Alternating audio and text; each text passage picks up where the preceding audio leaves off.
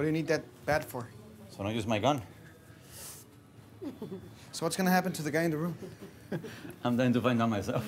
I mean, he's still alive, right? I don't know. What, what do you mean you don't know? When I hit him over the head, he went down and never got up.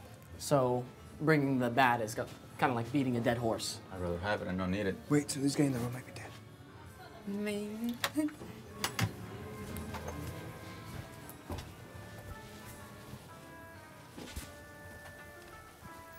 What the fuck is he? he was right here on the floor. Shh. Listen, what's that?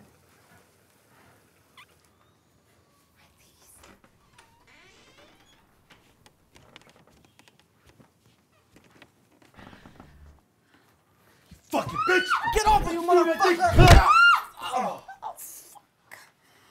Fuck Fuck was that? Take it easy, Big Show. Otherwise, I got some sauce on you. Start, you alright? That motherfucker broke my name. Billy, you okay? Yeah, I'm okay. Did you see Billy jump in to save me? Yeah, I saw that. He's a man.